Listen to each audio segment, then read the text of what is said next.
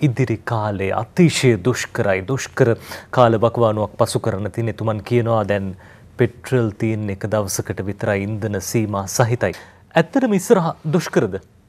රුපියල් නැති ඩොලර් නැති ගෑස් නැති පෙට්‍රල් නැති භූමිතෙල් නැති දවස් හතලයක් නැවතුනක් මුහදේ ඩොලර් ගෙවන්න බැරුව තියෙන ආර්ථිකයක් බාර අරගෙන තියෙන. එතකොට ඒකී වඩාත්ම පීඩාකාරී අවස්ථාව තමයි මේ දැන් මූුණ දෙන්නේ මහජනතාවක සම්පූර්ණ සත්‍යය එතුමා ප්‍රකාශ කළේ හැබැයි එතුමා එක ප්‍රකාශ කරන ගමන් පහුගිය දවස් තුන එතුමා ක්‍රියා කරන්නේ කොහොමද එතුමා ඒකනේ එතුමාගේ ප්‍රකාශනයම කියන්නේ මම විවෘත වෙළඳ පොලෙන් ඩොලර් ලබාගෙන මහජනය ආරක්ෂා කරන්න පියවර ගන්න. ඒ අනුව තමයි ඩොලර් මිලියන 7ක මුදලක් ගෙවලා ගෑස් ටැංකි 80000ක් විතර එළියට එනවා. ඒකම තව නැවක් පිටිපස්සෙන් එනවා. තව තෙල් නැවක් මේ කතා කරන අවස්ථාවේ ගොඩබාමින් තියෙනවා. 19 වෙනිදා ඉන්දියන් ක්‍රෙඩිට් ලයින් එකේ එන තෙල් ආපහු ගොඩබාමින් තියෙනවා. එතකොට දැන් මේ ප්‍රශ්නේ निराකරණය කරන්න ගෑස් ටැංකි ලක්ෂ ගානක අසුදහ ප්‍රමාණවද මේ නෑ කිසිදේ ඉතින් මේ වැඩේ ආරම්භ කරන්න ඕන එක එක සැරේ එක පාට කරන්න බෑ එතකොට අවශ්‍ය කරන එක පාට හරිනම් ගෑස් නැව් හයක් හතක් අටක් එක පාට එන්න තියෙනවා ඇයි මහජනය සැකෙන් ඉන්නේ ඉස්සර ගෑස් ටැංකි දෙකක් තිවුණ නම්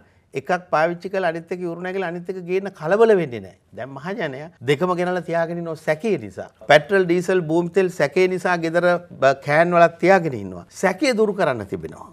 රනිල් වික්‍රමසිංහ අග්‍රාමාත්‍යතුමා රට බාර අරගෙන ඉන්න වෙලාවේ ඔබ සැක හිතන්න එපා. ඔබ අවිශ්වාසයක් හිතන්න එපා. විනාශ කරපු රටක් බාර අරගෙන දවස් දෙකකින් මැජික් පෙන්වන්න බෑ. හැබැයි මැජික් පෙන්වන්න පුළුවන්. ඒකට සති 3ක් 4ක් යනකොට මාසයක් ගත වෙනකොට හිමින් යථා තත්ත්වයට පත් කරගන්න පුළුවන්.